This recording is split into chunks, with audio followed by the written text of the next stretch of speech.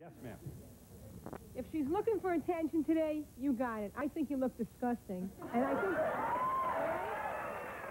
And I think the classiest ones I on the wanted just panel to hear you are the girls that. that are small-breasted, because maybe we should leave something to the imagination. Why? You're disgusting. Why? I just got to say, the I am what men want. Because men love big breasts. No. See, the, the, the people that are insecure about themselves, whether it's be large breasts, small breasts, big noses, strange bodies, it's because of women like the stripper who, like, present their bodies in such a way. I mean, she's practically falling out of that. I mean, it's disgusting. and that is what makes the women What makes you hate, what makes you think it's disgusting, you two? Do you hate your mothers? You hate yourselves? What's so terrible about breasts? You hate breasts? I don't know if I quite understand the hostility here. yes. Um, What's the hostility? You're jealous. you know, if she wants to do this, um, but why is it necessary to call her name? I'm glad their true colors are coming out because this is Wait what I minute, put up uh, with from women all the time. Huh? I'm glad their true colors are coming out because this is what I put up with from women all the time. But you know, I don't like to see women pitted against other... Hey, hang on just a moment. Miss Allred, please. I don't like to see women pitted against other women. What I think is important is the issue, Phil. And in this country, we have a real fetish about breasts. For Yeah. example, we're talk, we talk about women often as though that all, that's all they are is walking breasts. We call them boo. We say, talk about boobs or, or knockers or jugs, as though the person inside is not important. We reduce them to objects. I think women should be treated as full human beings, accepted as they are, as she is, and as some of the rest of us are. Yeah. I give her a lot of credit. I think you're a dynamite lady. You say it just the way you feel about it. But I would like to ask you a question. Are you married? No, I'm not. Oh, okay. Yes, ma'am. I think I think that obviously she's not married. I mean, everything you have said has has bothered me. I mean, sure, it's, it's fine.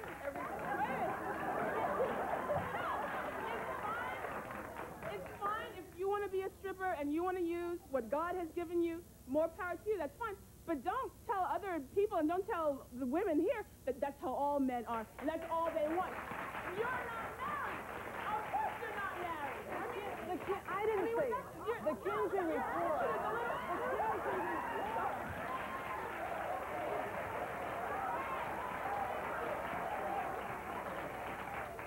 The Kinsey report has proven that men are more interested in breasts than any part of the woman's body. Well, wait a minute, wait a minute. Why are we always... I want to say that I have large breasts, and I'm very proud of it. But I think they also could be displayed tastefully. But, but wait a minute. I know what I How come many designers money. now? I got lots of wisdom here, please. How come many designers now are playing down the looks of the chest and wearing Because baggy they're clothes? faggots. Yes, a lot of baggy. No, but Yeah. you see, you know, Uh, Miss No, Kellie, Can I say something, Phil, which is, you know, she just said, I do what I have to do to make money. And when you think about it, in this country, unfortunately, the only jobs in which women as a class can earn more money than men as a class are prostitution, nude modeling, perhaps being strippers. Isn't that an indictment of the way we Yes, don't give women credit Yes. for the kinds of achievements that they can show? And I think that that's lust- wrong. lustful men. Lustful men. Don't blame me. Miss Kellie, please don't tell me what I like. And in a society of sexism, uh, there's some I don't guys know what still you left who like. li- Well, you did. You said all Maybe men you're like not big even jugs. hetero. And I I happen to like uh, I like a woman with um, a terrific smile, some great eyes, and a real nice personality.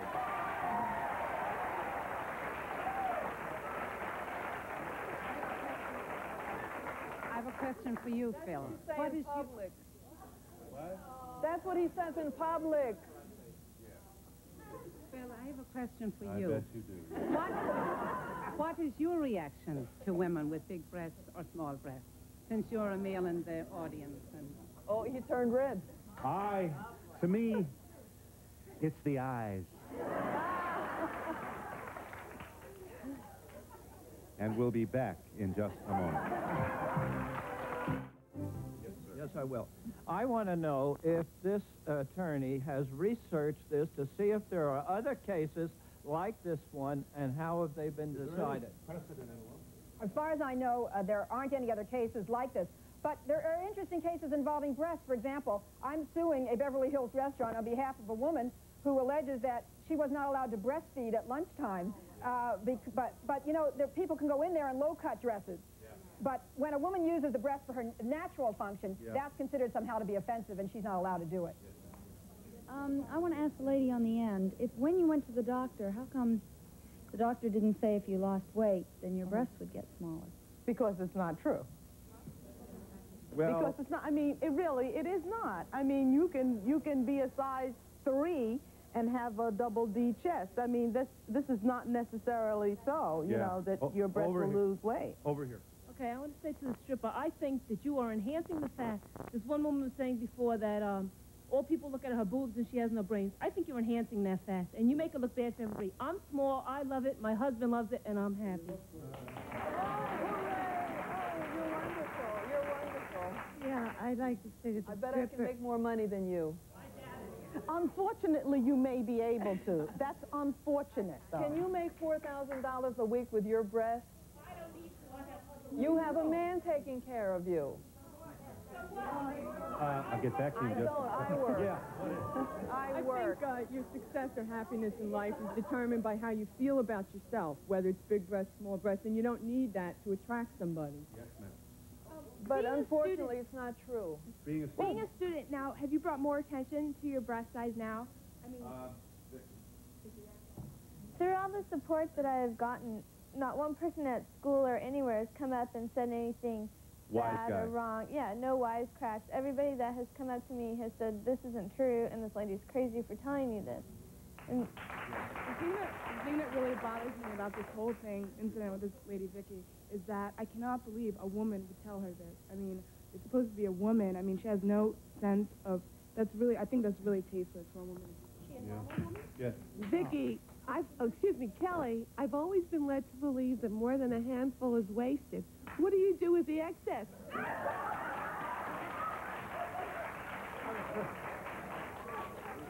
You got to use two hands at a time. I'm afraid I, I find you very anachronistic. You're from the 50s, the 60s. I do not think that you're what people are looking for now. You'll simply have to look in magazines to see that. Yeah, you do, and they buy a lot of magazines. Are you there? I'm glad you waited, caller. Hang on. Go ahead. I'm a 30-year-old male, and uh, I had very large breasts. And at this time, I just got done with a reduction uh, a week ago today. And uh, I'm really proud that I had this finally done. You have breast reduction. Yes, I did. Uh-huh. How old did you say you were? Excuse me? How old? 30. And you were, what, self-conscious about your breast? Yes, especially going to the beach, taking my shirt off, being around my family. It's Well, believe it or not, we've discussed this on our program, and uh, it's, it is a real thing for uh, not a few men. Males can have uh, breasts that some of them find distracting, and uh, Yeah, I think, it, I think it's a problem for some men, but I think the main problem is with women. And as I say, from birth, and when you think about it, how scarred children can get. I mean, there are children who are out there wearing training bras at, 10, o- at, at- at the age of 10. What are their breasts in training for, is my question. Yeah. Why do they even, who is making money off of this? We have a huge industry out there that is making lots of money off of women having to be worried night and day about whether their breasts are the right size or whether they have the right support or what. I want to know when women are going to benefit what, rather than when the whole industry out there is going to make money off of women. I'm glad you waited. Go ahead. Hello? Hang on just one second. Yeah, go ahead. Hello? We're waiting for you, sir. I'm sorry. I'm calling, uh, I'm a 32-year-old male. I just wanted to make a comment that uh, any of the girls, I didn't have many sexual encounters, but what the ones I did, none of the girls were ever satisfied with their body. All the girls you've known did not like their bodies. Right, that, that I've known sexually. They were all disappointed with their breasts, with their body size, or whatever. Well, whatever. We've discussed this too. Uh, this Okay. culture just clobbers women it emotionally. What, what I was to... You're either too short, too small, too fat, too skinny, too, you know, and then you've got split ends and your nails, you know, there's something wrong with your nails, there's something wrong with your nose. God knows we don't like your eyes. Look what you're doing to them. Well, what what eventually happened was I ended up marrying a girl who I made a comment to, a very compliment over her body size, saying she had a beautiful body, and she got real mad at me, and I ended up later finding out that she had been suffering from anorexia bulimia for about 10 years because of what she grew up with, with people judging her body, Right. and starting with training bras and the whole bit, and now Right. my nieces are going through it. And Well, you better, just briefly, uh, we really are talking about raising young boys and girls to uh, different values. I, I mean, I don't know how you, this is called generational. I don't know how long it's going to take. Well, I think, Phil, the time to start is now because I think what we're saying is that our young daughters and women have to fit into this stereotype, which is really perpetuated, I think, by the picture of women in pornography. If you think about it, we're supposed to look like that. But I go into health clubs, into steam rooms, and I look around, and I see women who are who are all sizes and shapes. Those are the ones who are beautiful, and I don't think we should all have to look like those women in pornography. And we'll be back in just a moment.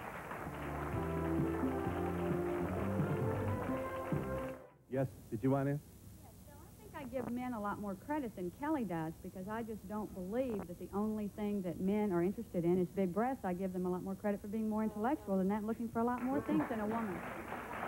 Uh, obviously, obviously, Kellie has oversized breasts. However, she's in showbiz, and uh, she makes money from it. So what is the big thing? That's right. What's the big thing? Yeah. We're talking about two big things. I'm sure that uh, I'd like to know what Kellie does when it's uh, 90 and 100 degrees and the humidity is high during the summer. Yeah, it's a problem when you have to dress defensively, but then when you're on an appointment and you want to impress the guy you're going to meet in business, then you have to try to wear something revealing and all that. And on the way there, you get 25 other guys after you. It's very difficult. I've had men come up to me on the street and grab me physically. I've been raped five times. I've been beaten up by a man that I refused to have sex with. Uh, there's a lot of problems. I mean, there is a terrific backlash of being very sensuous looking. You know, there's a good side and a bad side. I resent what Kellie is doing for only one reason. I think it's wonderful that she's using her potential to make the most money that she can. I'm very happy that she loves her body, but what she's doing is the same thing that our culture has been doing to us since the time I was a very little girl, which is making me feel insecure and inadequate. And it's okay. Well, it's not really okay for the for the business, for the advertisement industry to do it. They're making money on, on it. But I think that you as a woman should know that the most important thing is to really be womanly. And I think maybe in Europe they do understand that. They appreciate women in a very different sense than they do in America. They're very, very sexual, but there's much less sexism than there is here. I'm a product of what this society wants, this culture wants. I'm a marketable item, and I make money from the way I am. Over it's here. as simple as that. Uh, I don't think I've once asked breast out on a date. What did you say? I've never asked breast out on a date. You know, you know, Phil. Are you there? Hi, thanks for waiting. Phil, this is Hi, Phil. Hang on a minute. This is typical. The guys, when we are in public, when they're trying to impress their girlfriends and their families and everybody, they, They jump up say- and they attack talk me. like a Hallmark When we are alone, they have 50 fingers and 20 hands, and they're always going for the Okay. sensuous You know, Guess Kellie what? says that she's a product of what this country wants. Well, I hope that I'm a product of what this country wants as well. Because they're there. That's why they touch your breast, because they're there in front of their face. Yes. Briefly, sir. I'm sorry that people are so obsessed with their bodies. I think that you're all beautiful and that you shouldn't be afraid, you know, to be Who you are. Are you there, caller? Go ahead. Yes, I am, Phil. Yeah. Let me tell you, what an enlightened audience you have there that they think appearance is not important. I tell you, I have been 150 pounds overweight, and I have been slim. Now, with the same face, the same smile, the same eyes, and the same personality, I have received a lot more respect from people and a lot more attention from men when I have been slim. Now, put that in your pipe and smoke it. And we'll be back in just a moment. Hi, we're almost out of here, but go ahead. Caller, Hello. go ahead, please. I had the same kind of experience as Vicky when I was in high school. And I walked around covering up my breasts till I was almost 30 years old because of the traumatizing Vicky Bryan. effect that it had on me in high school. And it really affected my life until my husband convinced me that I was a beautiful, worthwhile person who could allow these breasts to show in public. And I think an injustice was done to this young girl Uh, by this we do too, and that's why she has provided and lawyer. promotional fees paid by the it's father. problem.